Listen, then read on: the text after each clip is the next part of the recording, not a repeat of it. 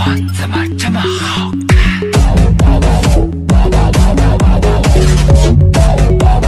怎么好看怎么办？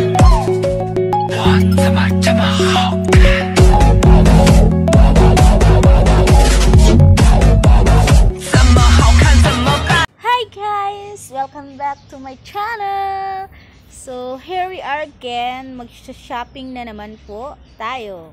So, let's go in my favorite apps here. So, punta tayo ng electronics. So, for today's vlog guys, yung aking uh, ipapakita sa inyo is all about uh, tablets or computers. So, let's say, uh, ito, pindot lang natin yung computers and tablets. Yan. So, ayan. So, pag open mo pa lang yan, guys, makikita mo na agad kung anong mayroon dito. So, ito yung una. Ito iPad. Let's see yung iPad, ah. Yan. So, yung iPad Pro yan, guys. 2020.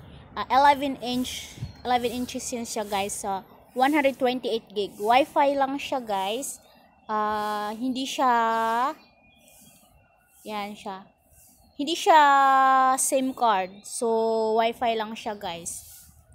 So, 5,100 HKD, guys, ha.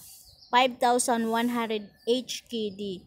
So, sa pera natin, guys, nasa 31,600 something. So, ganyan yung price niya, guys, ha. 31,600 something. Kasi iPad Pro po kasi siya, eh. new model siya, eh. 2020 2020 model siya. So, 11 inch siya, ha? And, uh, 128 gig. So, maganda nga siya, guys. And then, like I said, Wi-Fi lang po siya. Hindi siya pwede lagyan ng SIM card. Okay, so, let's move to the other. Meron pa ba? Hmm, hanap tayo ng iba, guys. Ito. Ito may laptop, siguro. But, let's go for the uh, tablet. Yan. May mga mura din kasi, guys, eh. Oh, ito, like this. Oh, 4 minutes ago lang siya na posted. So, bagong post lang talaga siya. Ano din siya? iPad Air. IPad Air 2. So, 9.7 inches lang siya yung retina niya, guys. And, uh, medyo mura lang siya, guys, sa in ha. Kaya lang, ano lang siya, 16 gig lang siya. 16 gig lang siya. So, tingnan natin, no. Maganda rin siya. Let's see kung may damage. Ah, ayan siya. May damage nga siya, guys. May konting damage siya. Kaya siguro medyo mura siya. Pero parang hindi naman sa screen yung damage niya. Bak parang yung ano lang niya, yung cover. Yan. Maganda pa naman siya in fairness. Maganda pa siya, ha. Maganda pa siya. Ayan. So, iPad. Makinis naman siya in fairness, ha. Yan. So, wala namang scratches. Yung ano lang ata, yung glass protector lang ata yung yung may damage. Yung pinakita niya sa sa second picture ba yan? Ayan yan. So, yun yung parang may difference siya. Pero overall, parang wala naman siyang damage, guys. So, hanap pa tayo ng iba, guys. Let's see what we can find here. So, mayroon din dito ito. Yan, let's see this one. Ah, this one is iPad Air 3, 64 gig, Wi-Fi and 4G guys. It means pwede po siya sa SIM card. Ayan siya. So, tingnan natin yung may keyboard siya guys ha. Tingnan po natin yung ano niya. Yung ibang mga feature na binibigay niya. Wow, ang ganda ng keyboard niya in fairness ah. Ay, keyboard, sorry yung casing niya pala. Yan. Ang ganda, ah. ang ganda niya. Yan siya. So, ayan siya. So, may ano siya. May kasali siyang keyboard, guys. So, bago pala siya, guys. Hindi siya luma. iOS 12. iPad Air 3. So, nagkaka... Actually, ano na siya eh. Discounted na siya eh. Dati siyang 4,288. So, binibinta na lang niya ng 3,988 each KD. So, sa pera natin yan, guys, is ah, nasa 24,700. Yon. So, 24,700. Mahal po talaga pag iPad. Alam nyo naman yan eh. Quality talaga pag iPad eh. Pang long life kasi guys, pag mga ano, yung mga ganyan iPad. So, hanap pa tayo ng iba, guys. Kasi marami pa to eh. So, let's find... Uh, ito, ito, ito. May nakita ito. Ah, ito bago, guys. Ah, bago lang siya. Posted uh, one hour ago. Yan. So, ayan siya. Medyo may nalan na internet. Yan. Nandito kasi ako sa labas, guys. Hindi ako naka-wifi. Kaya maybe mahina yung internet ko. So, laptops pala ito, guys. Kasi medyo malaki na siya. eh. MacBook 12. 12 inches, 2017, ano pa siya, rose gold. Ay, one of my favorite color din guys, rose gold. Yan. Ang ganda ha, sa supa talaga nilagay yan. So, let's see ang another. Wala na. Wala siya ibang feature yung binigay guys. Mayroon naman na yan. Tapos, next, ayan. Oh my God. Ang ganda niya. Sobrang ganda niya guys. Promise. Yan, wow, ang nipis. Nakaka-inlove. Gusto ko talaga sa gadget, guys. Ang gusto ko sa gadget, yung kulay, kulay niya is rose gold talaga. As ang ganda niya, nakaka-inlove. Ang kinis pa, in fairness, parang wala siyang damage. Ayan. Wow. Ang ganda, guys. Ang ganda ng pagka-rose gold niya. Parang ano lang siya, no. Yan. So, yung price niya, guys, gamit na siya, guys, ha use na siya. So, MacBook 12 inch, 2017 model, 512 gig. So, nagkakalaga lang po siya ng 4,500 HKD guys or uh, sa pera natin is uh, almost 28,000. Yeah. 12, 28,000 Philippine money guys. Yan po siya. Yan, yan yung price ng MacBook 12. So, 28,000 Philippine money. Okay guys. So, So, ayan guys. Let's find another again. So, ito may nakita na naman akong iPad Pro 11. iPad Pro 11 inches pala. Yeah. Ito siya. iPad Pro 11 inches 2020. So, 512 gig siya. Second generation siya ng iPad Pro guys. Second generation daw siya. And tingnan natin yung mga pictures. Ayan siya. Ayan, second generation nga. iPad Pro 11 inch. So, yan. Yan. Ayan siya. Ang ganda niya.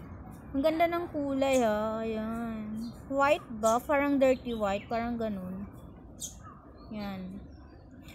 Yung camera niya, ang ganda ng camera niya sa likod ng furnace ha. Oh, ang ganda ng furnace. Ang ganda ng cover niya ha. Yan, may cover siyang free guys. May cover siyang free. So ito, gamit na din siya guys. Kung nakikita nyo, may nakalagay na 99%. Ibig sabihin yan is almost new talaga siya guys. Kaya siguro ang mahal ng binta niya. Yung, sa, yung isa kanina na ba, ano natin, medyo mura konti. Ito parang medyo medyo mahal siya. Medyo mahal yung binta niya. So, ito, nasa 7 1,580 HKD. So, sa pera natin to guys, alam niyo ba kung magkano? 46, almost, nasa 47,000 guys. Yun na, yun. So, yung iPad na ito, iPad Pro 11, 11 inches, 2020 is uh, 47,000 po ang price. Yes, 47,000 po yung presyo. Ganyan po talaga kamahal ang iPad. iPad, Apple iPad. May pangalan po kasi siya guys eh. Kaya ganyan talaga siya. So, matibay naman po kasi yan eh. Mahaba talaga ang ano, long life talaga guys.